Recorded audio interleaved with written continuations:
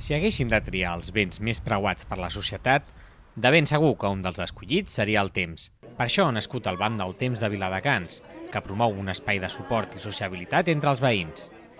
Treure el gos a passejar, fer petites reparacions o acompanyar algú al mercat són alguns dels exemples de col·laboració on la moneda de canvi que es fa servir són les hores.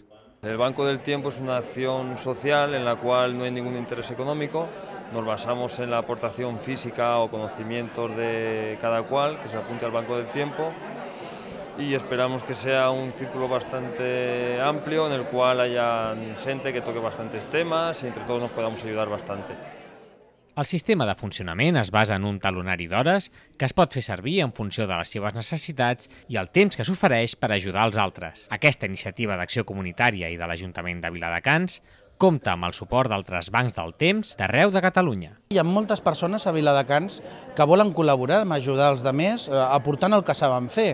Eh, a mi m'ho diu molta gent pel carrer. Eh, escolta, jo sóc eh, tal, eh, com, com podria ajudar gent que està passant dificultats, com podria ajudar simplement a, amb altres persones. I és una manera de cohesionar la ciutat.